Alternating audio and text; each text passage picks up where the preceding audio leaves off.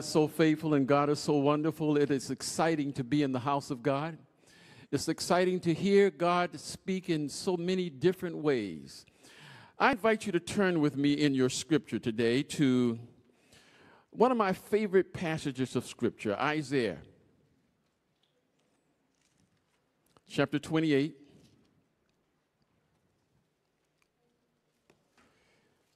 And I want you to follow along as we read verses 13 and 14. Isaiah 58, verses 13 and 14.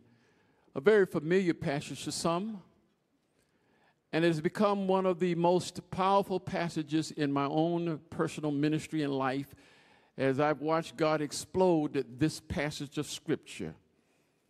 Isaiah 58, 13 and 14. If you turn away your foot from the Sabbath, from doing your pleasure on my holy day, and call the Sabbath a delight, the holy day of the Lord honorable, and shall honor him, not doing your own ways nor finding your own pleasure, nor speaking your own words. Then you shall delight yourself in the Lord, and I will cause you to ride upon the high places of the earth, and feed you with the heritage of Jacob your father. The mouth of the Lord has spoken. My message today is entitled Wealth it's in your worship, not in your works. I'll say it again wealth is in your worship, not in your works. Father God, as we spend this time in your word, we ask for a double anointing of your spirit. We know that unless you speak, we will not hear. Unless you touch us, we will not be transformed. And we've come to be transformed under the preaching of your word. So do it today in a special way as our prayer in the name of Jesus. Amen. Wealth. It's a very intriguing word. In fact, wealth is a captivating word. Wealth is a tantalizing word. But I've discovered wealth is often a misunderstood word. You know for yourself that there are ambivalent feelings and sometimes anxious feelings when we mention the word wealth. But I want to bless you today. I, I want to I want to lift you up and, and help you understand what the Word of God has you and I to understand about wealth. Listen carefully. You will be excited when you hear this clear word of God about wealth. Wealth is what you are, not what you have. Oh, I need to say that again. So you got to understand wealth is what you are, not what you have. Can I infuse you with some energy today over the subject of wealth is in your worship, not in your works? I want you to understand that you are wealth. Yeah, I said it. You are wealth. I want everyone that hears this message to leave here understanding that you don't have to chase wealth, you are wealth locked up inside of, of you is the divine ore that gives you value, therefore, allowing you to give value to the world. So I say again that you are wealth, and you must say to yourself, I am wealth. In fact, take the time right now and say, I am wealth. Yeah, let's try that again. Because we struggle with the word wealth, so we don't want to say it. But I want you to know that you are well, so say it with me. I am. You see, wealth is really the assignment and allocation of value. That's what wealth is. It is the allocation and assignment of value. And God assigned value to all mankind. Yeah, I think that's important for my audience to know. You have value, and God created you with value. Listen now, in the beginning, God created man and he gave them value. He gave them value. Genesis 1 1 said, In the beginning, God created. And in that creation account, God gave man value. Created, Genesis 1 26 says, created in the image of God. Value. I need to say that again. Created in the image of God, that's value. But further, redeemed by the blood of the Lamb, that's value. So no matter whether I have a lot or have a little or I have nothing at all, I am wealth. You see, all inanimate inanimate objects, listen now, need you to give it value. Oh, I'm going to share something with you. I hope you're ready for it. You see, you give value to the world, the world doesn't give value to you. Now, I know a lot of people love BMWs. They're nice cars. But I noticed something about BMWs. That, uh, what is it, that 530i? The biggest one. It sits on the lot, and I asked the question what value does it have? If it sits there for 10 years, all it will do is deteriorate and devaluate. Listen carefully now. Only when I get in it or you get in it does it have value. Can I repeat myself again? You see, that car has absolutely no value until I get in it. But we've gotten it so messed up today that we give it value and then we need to drive it in order to give us value. Yeah, have real mercy. You see, wealth from this perspective is very difficult for us to comprehend. Because well, wealth for most of us is about the accumulation of property, of money, and investments. So, wealth is what I've earned, not what I am. Uh, let me say that again we struggle with this definition that wealth is the assignment and allocation of value. So when we start talking about wealth, we think in terms of what we have accumulated. We think about what we have. And so wealth now is what we earn, not what we are. The Genesis story counteracts this thinking by declaring wealth is in your worship, not in your works. Genesis 1 1, reading again. Fact, I want you to read it. I know you know it, but I want you to read it because this is a powerful passage that sets the basis for all value. Genesis chapter 1 and verse 1, the Word of God says, In the beginning, God created the heavens and the earth. God created the heavens and the earth. God created the heavens and the earth. I know that that's being redundant, but it is critical in an age when people think that we have evolved. You see, God declares from the very beginning that He is the source of all value. Therefore, He is the source and author of all wealth. He declares that I'm the one who brought this world into existence. I am the one that gives you value. Genesis chapter 2, turn with me there. Genesis chapter 2, beginning with verse 1. Here again is a powerful statement about what God has done. Genesis chapter 1, chapter 2, rather, beginning with verse 1 Thus the heavens and the earth and all the host of them were finished. And on the seventh day, God ended his work which he had done.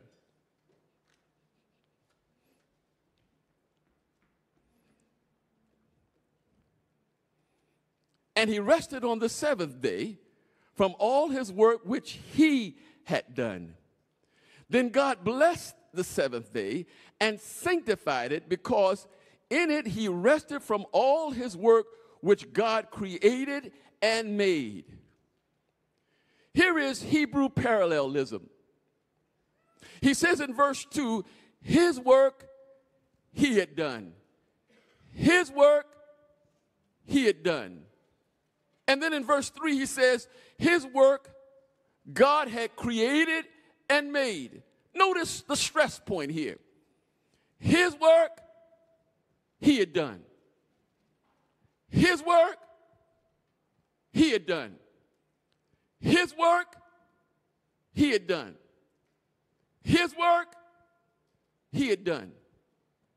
His work he had done. The emphasis is his work. God is making it clear that man had absolutely, positively not one thing to do with the creation. It was solely the work of God. Therefore, man did not earn the worth and the wealth that they have. It is what I call grace. Man's wealth wasn't earned or deserved, it was an act of God's grace, undeserved and unearned. Undeserved, listen, and unearned. When I begin to understand that wealth is a gift from God, it should evoke from me praise. It did to David when he reflected on the goodness of God, the mercies of God, the provisions of God. Turn to Psalm 150 and watch what David does as he thinks about the God who created everything. Psalm 150. Notice what David does. He gets excited and starts praising him. He says, Praise the Lord. Praise God in his sanctuary. Praise him in his mighty firmament. Praise him for his mighty acts. Praise him according to his excellent greatness. Praise him with the sound of the trumpet. Praise him with the lute and the harp. Praise him with the timbrel and dance. Praise him with string instruments and flutes. Praise him with loud cymbals. Praise him with clashing cymbals. Let everything that hath breath praise the Lord. And the reason why David did this is because he understood that his worth and his wealth was an act of God's grace, it was a gift, and therefore he understood his wealth was in his worship, not in his works. See, God understood the dangers of wealth disconnected from worth and from worship. God understood the dangers when wealth is disconnected from worship. God knew men as the centuries passed would catch a disease called affluenza. That's the social disease of abundance. God knew that when we start being blessed, we would do like Nebuchadnezzar in Daniel chapter 4, verse 30. We would look out over Babylon and say, Look at the kingdom that I have built. Look at the house that I earned. Look at the car that I have earned. Look at the life that I have built for myself and think that it was because of our might and because of our strength. So God established the Sabbath day, a day of worship as an opportunity to express continually our gratitude for the gift of wealth. Notice that Adam and Eve's first day on this prosperous planet was a worship day, not a work day. It was a praise day, not a planning day. It was a praise day, not a planning day. It was a recreation day, not a recreation day. It was a shouting day, not a shopping day. It was a holy day, not a holiday. See, it was God's plan for Adam and Eve standing on the eve of the Sabbath to look back over the six days of the creative work of God. The grass, the trees, the sun, the moon, the animals, all the creeping things of the earth, all of the prosperous things that were before them, it was God's plan for Adam and Eve to look on them and to stand in awe and amazement and say, God, I didn't do this, you did it, and I thank you for allowing me to be, be positioned in it. But it was also God's plan and God's desire for them to stand there on the eve of the Sabbath, the beginning of the Sabbath, and to look forward for six days and to say, God, everything that I will experience in the six days going forward, I will trust you for the success and I will believe you for the wealth that you will continue to sustain me with. You see, Sabbath is a weekly reminder your wealth, listen now, your wealth is in your worship, not in your works. Please don't miss this point. Don't leave here without understanding this. The practice of Sabbath observance, listen carefully, the practice of Sabbath observance is a public confession that you believe that wealth is a gift. It's God's emancipation proclamation. Sabbath is a reminder that God is the creator, the sustainer, and the protector of everything. It's a reminder that not only is God our righteousness, God is our wealth. You see, we are because He is, therefore we have because He is. See, the Sabbath proclamation is actually a paradox of production. Say that again. The Sabbath proclaims the paradox of production. You see, God commands that we work. Turn in your Bibles to Exodus chapter 20.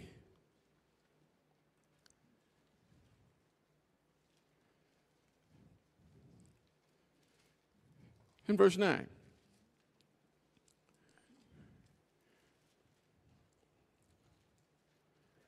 The Bible says, Six days shall you lay around.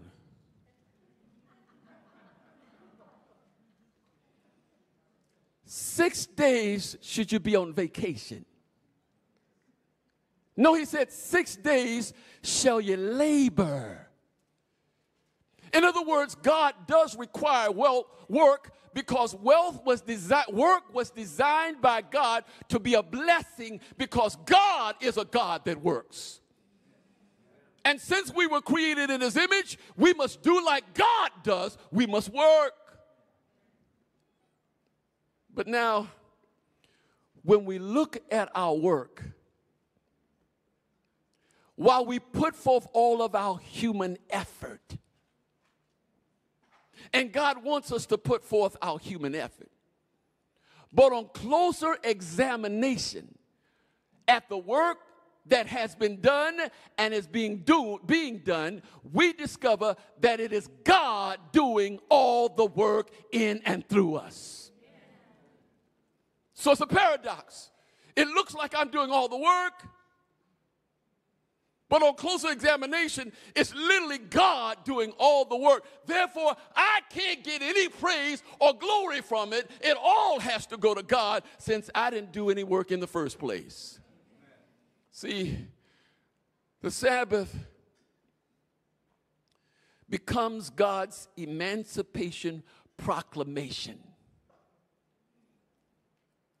And it becomes this, first of all, because it humbles us. Say, humble us.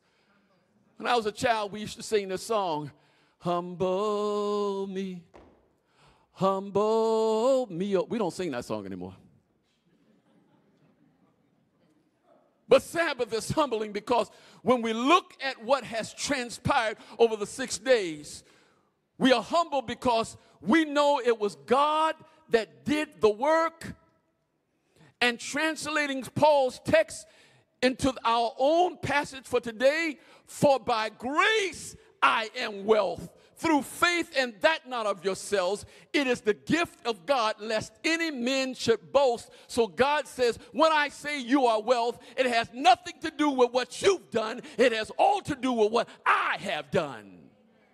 And then, after it humbles us, it liberates us. No longer are we enslaved to an endless work week. Can I get a shout glory? No longer do we feel like we have to have 25 jobs to get ahead. Now we understand that wealth is a gift, and while God requires it to work, listen now, our wealth is not in proportion to our work because if our wealth was in proportion to our work, we wouldn't have anything. Can I get a shout glory? So it liberates us. It enshackles us from selfishness. It enchains us from materialism. And it emancipates us from the God of work. Because we understand now wealth is in my worship not in my works. See, the Sabbath emancipation is vital. Sabbath is vital. Listen to me, audience. Sabbath is vital. And the reason why, in a consumer driven economy based on the bootstrapping philosophy, where we really believe, ha, I've done it. I picked myself up by my own bootstraps. But do you realize if you pick yourself up with your own bootstraps, you're going to land on your backside? Deuteronomy chapter 8. Come on, turn to me there. Deuteronomy chapter 8. God foresaw this. He saw us. So he gave this passage, Deuteronomy chapter 8 speaking to people who have the disease of affluenza. And for the first time in the history of America, in the first time in the, in the history of the world, people are being blessed at way beyond what we've ever thought.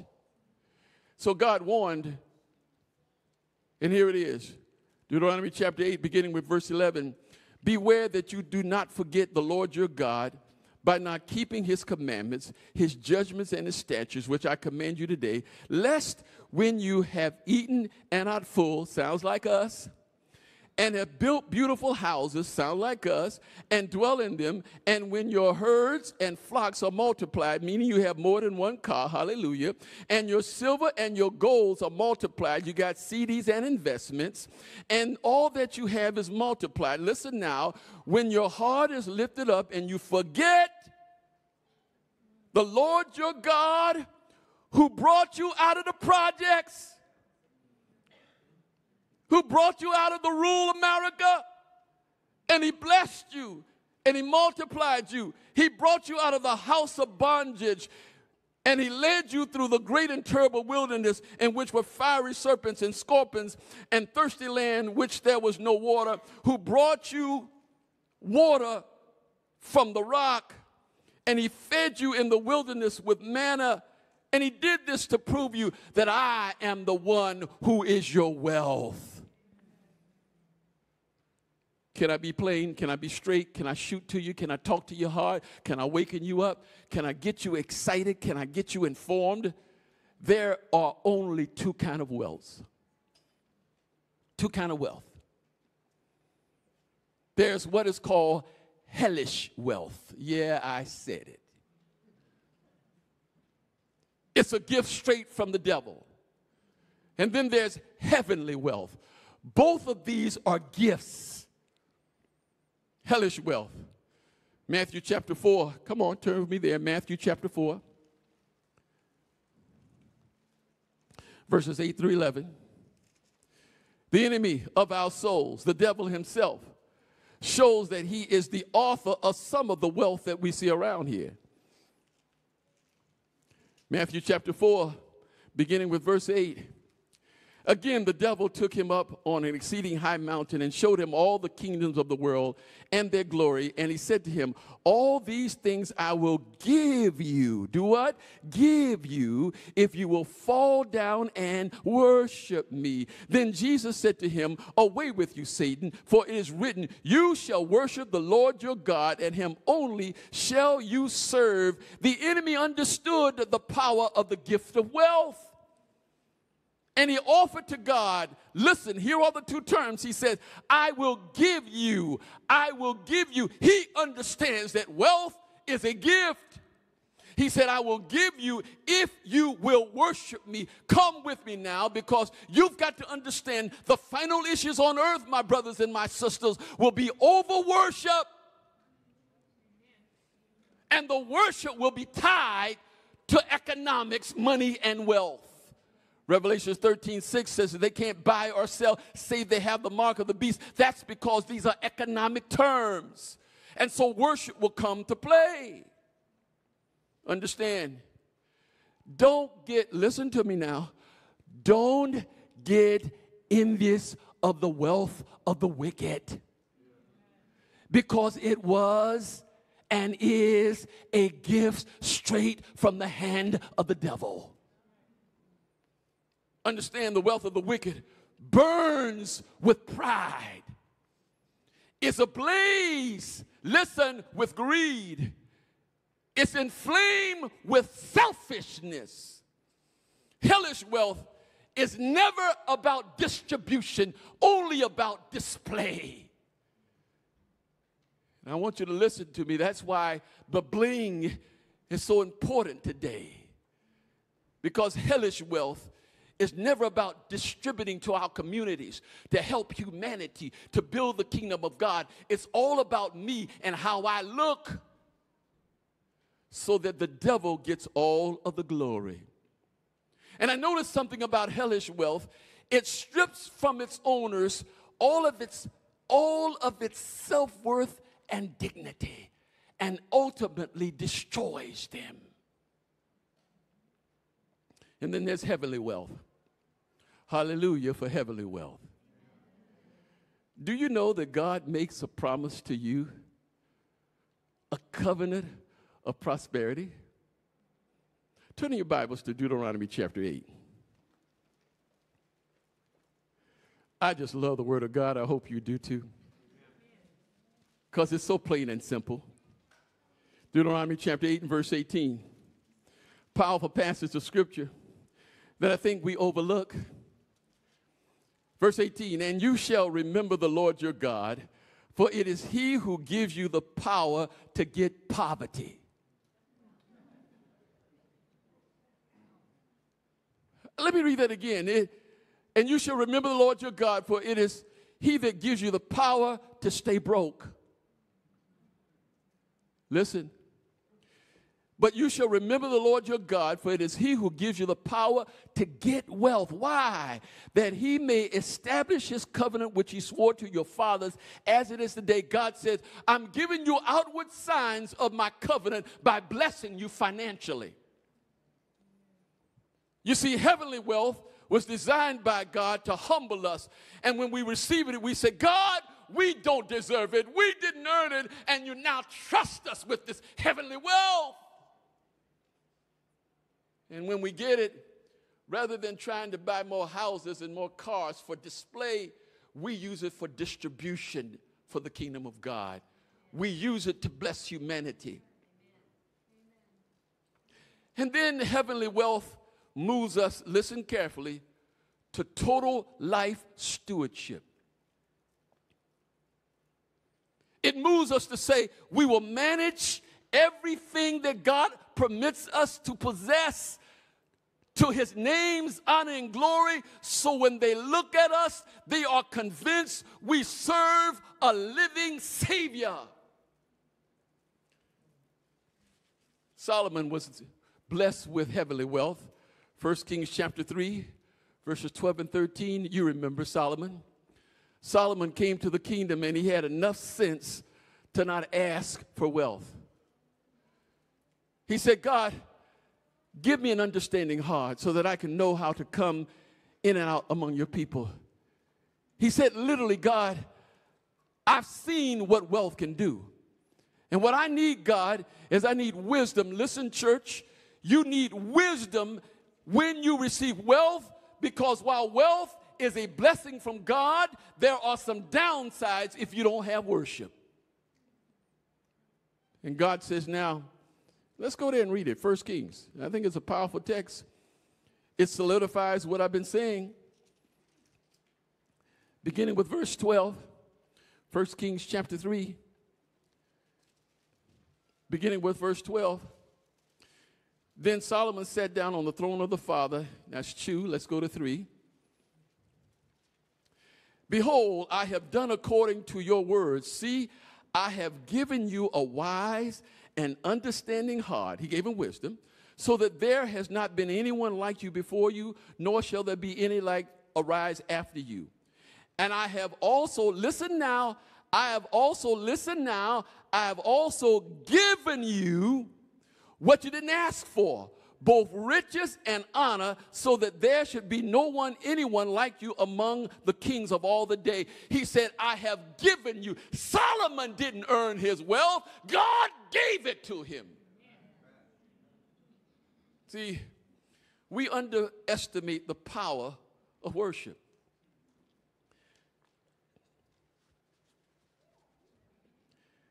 We don't know that worship has transformative power. See, worship is freighted with divine power. Worship is explosive, and worship can transform wealth. Listen to me worship can transform wealth, it can transform hellish wealth to heavenly wealth. The story of Zacchaeus is a clear example of it. Zacchaeus, who got his wealth in the wrong way by distortion, by cheating, by lying.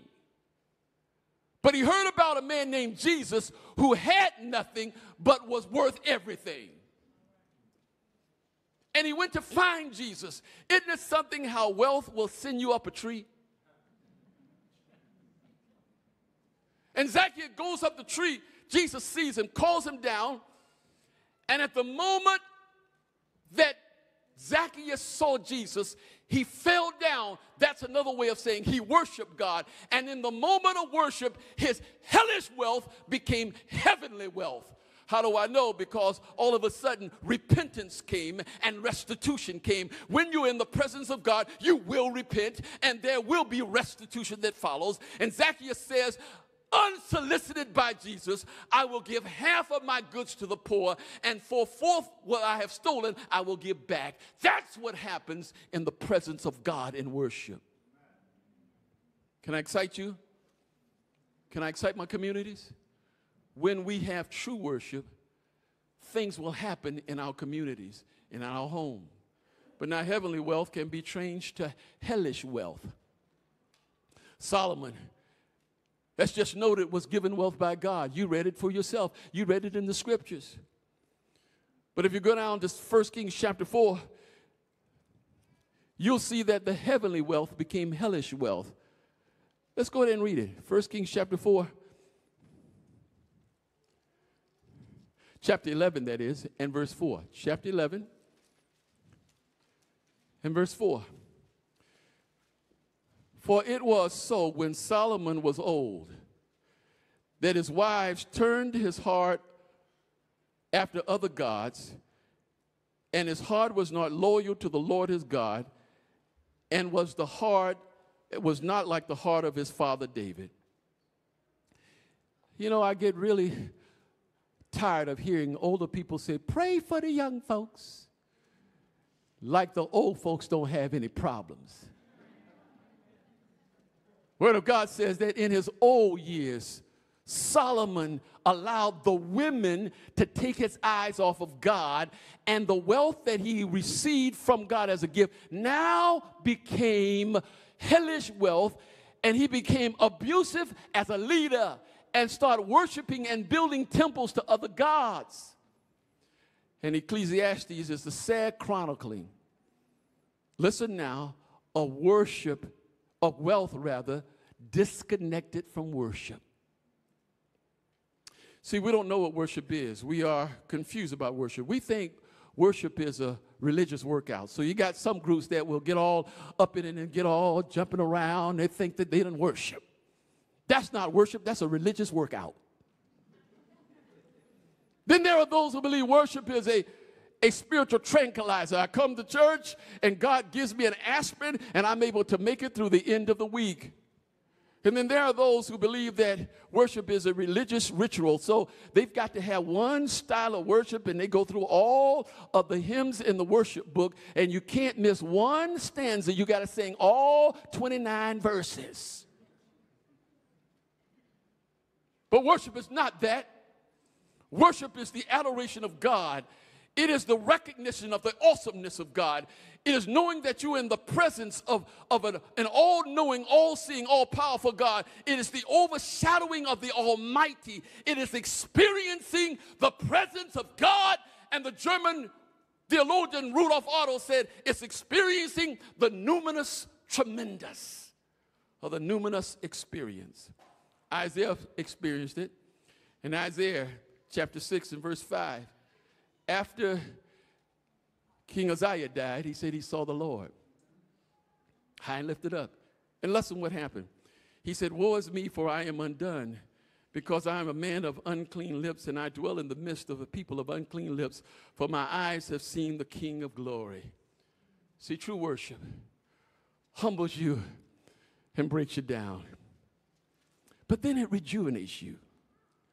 Because in true worship, in Sabbath worship, listen carefully, in Sabbath worship, God replenishes the value that you've given to things during the week.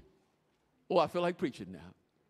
See, all week long, you're exhausting your value and your worth because we don't have an unlimited source. It all comes from God. So God said, I gave it to you. Now, all week long, you're giving it out. You're giving it out so that by the time you get to Sabbath, you're done. You need a replenishing. So God says, you're humble to recognize you didn't have any, so now I'm going to replace it on the Sabbath. And so God gives us back value. That's why people who don't stop to take time with God on the Sabbath always feel worthless, always feel depressed, always feel valueless.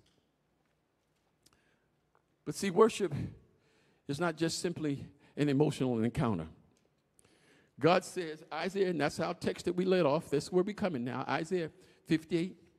He says, There is a day to worship on. He said, I've set aside a time, a day, the Sabbath day.